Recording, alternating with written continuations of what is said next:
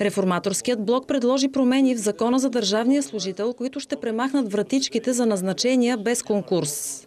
Нововъведенията касаят всички служители, които са били назначени по заместване или на непълно работно време. За да останат на работа в рамките на 3 месеца, те ще трябва да се явят на конкурс за мястото, което заемат.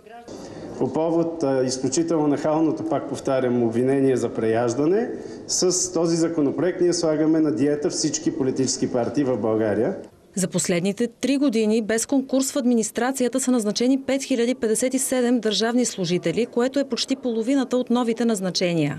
Ограничаваме както собствените си министри, така и министрите от други политически сили в тяхното изкушение да се подадат на политически натиск от собствените си структури и да извършват необосновани партийни назначения в администрацията.